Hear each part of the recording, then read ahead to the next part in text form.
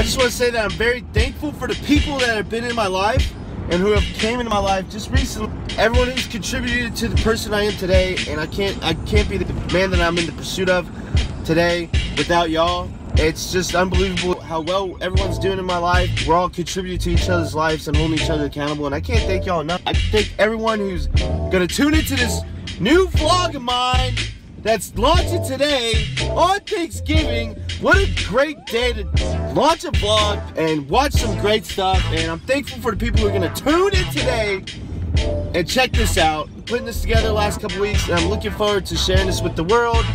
What to expect, I'm lifting, my life, love, downs, ups, happiness, trials and tribulations, my friends, fun, more fun, just like fun, fun again, because my life is fun, and I can't wait to share this experience and moments of my life with you, the followers, and I'm thankful for y'all that, you know, y'all keep pushing me every day in and day out. Can't wait to uh, see what the journey is at Dennis Road. Just a beginning weightlifter. I've been weightlifting a little over a year now. I really take it to it, and I'm nothing special yet along this journey. Maybe you'll see me turn into something special. If anyone wants to take the same journey, has doubts or has moments of weakness, I want them to be able to turn to this for inspiration and motivation and to, you know, just to continue to, uh, you got a bad day, hit the gym and just take the bar one more time.